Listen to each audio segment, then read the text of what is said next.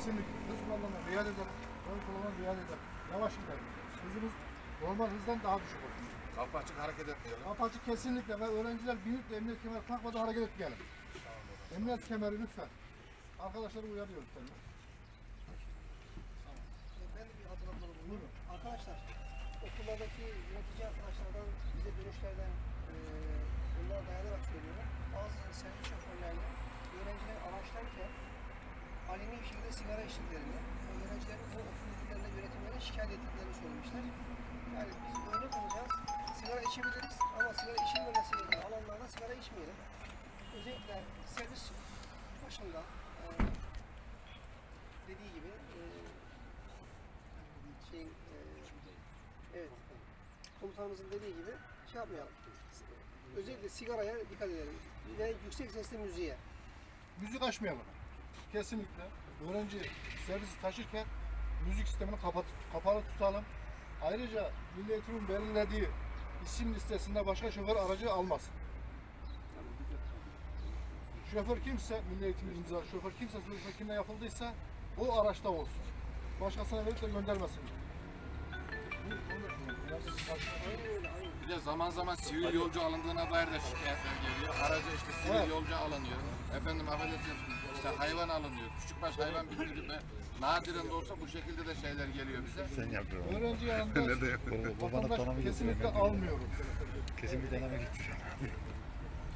Yani servis içerisinde kayıtlı öğrencilerin dışında başka, başka bir öğrenci, başka bir sivil e, olmayacak. Sadece öğrenci serviste öğrenci olacak.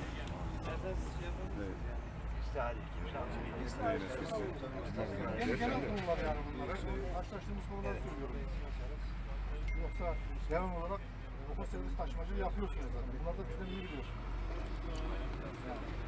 Komutanım cuma günleri sorun oluyor mu ya? Be- 5.20'de okullar kapanıyor. Yurttan çıkan öğrenci mecburen biniyor arabalara. Bindiremeyiz ki şey. 15-16'da kız çocuğu nasıl bırakalım? Bıraksan da olur. Bıraksan da olmuyor. Ayrıyetten gel sonradan al onları.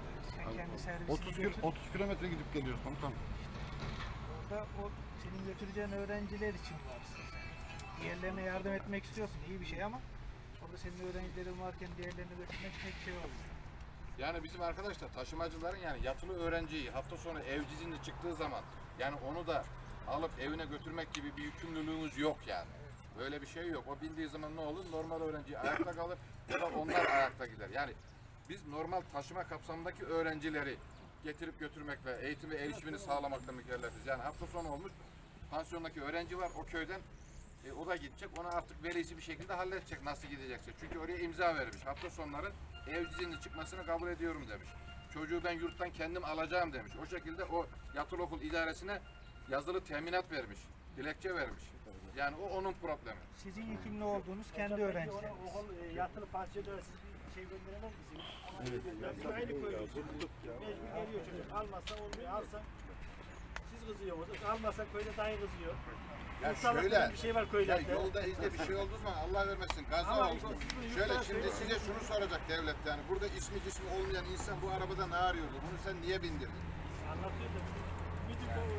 Belki de aynı veli o zaman o zaman şunu diyecek yani. Yani şikayetçi olacak. Benim çocuğu araca niye bindirmiş diyecek. Belki de şikayetçi olacak. Belki de tazminat isteyecek. Belki mahkemeye verecek. Yani, o onun problemi. Çözsün nasıl çözeceksen. Yani bizim şöyle bizim de bizim de yatılı okul öğrencisini yani evciliğini çıkacağı zaman hani bizzat verisine ulaştırmak gibi bir yasal yükümlülüğümüz yok yani. Tamam veli demiş ki ben kendi imkanımla yurda getireceğim, evcil çıkacağı zaman yurttan alacağım diye idareye teminat vermiş. Onun problemi nasıl çözerse çözsün. Büyükler de bunu anlatsınlar yani. Üstüne bir bilgi varsa diyor bize. Çocuklar en azından bize çok mutlu ediyorlar köylerde. En çok sorunumuz bu. Çocuk yurtta kalmıyor. Ben çıkacağım bir akşam birisi telefon aç diyor. Biz milliyetime gönderiyoruz. Gidiyor hocalara söyleyin. Ya onlar Yok, köy yok, yok, yok. Yani bize ulaşırsa biz onlarla söyleyeceğimiz Arkadaşlar biz sizinle e, başka bir gün özelden bir toplantı yapacağız ama şu konuya özellikle altını çiziyoruz. Hepimizin dikkatini çekiyoruz. Sabahleyin öğrencisi, öğrencileri okullara çok erken bırakıldığına dair, okullara öğrenci bırakıldığında başında nöbetçi öğretmenin olmadığı, okul idarecilerinin okulda bulunmadığı saatlerde öğrenciler okulun bahçesine indirilip sonra ayrıldığına dair okul yönetimlerinden şikayet geliyor bize. Yani biz sizin seri, e, şehir içerisinde ikinci bir servis taşıdığınızı biliyoruz. Normalde bu sizin için yasal değil.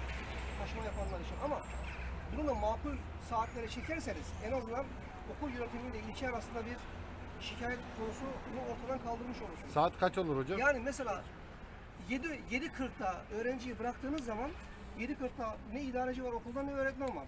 Öğrencileri avluya bırakıyorsunuz gidiyor. Yarın havalar soğuduğunda Bizim ilk giren arabamız 750'de giriyor hocam Osmancı'ya. Hepimiz 750'de peş peşe Yedeli'den giriyoruz. giriş yaparsa o şöyle. 750 yani 8 8 mesela şöyle söyleyelim arkadaşlar. Sırayla hepimiz- mesela bizde eğitim öğretim genelde 8.30'da başlıyor.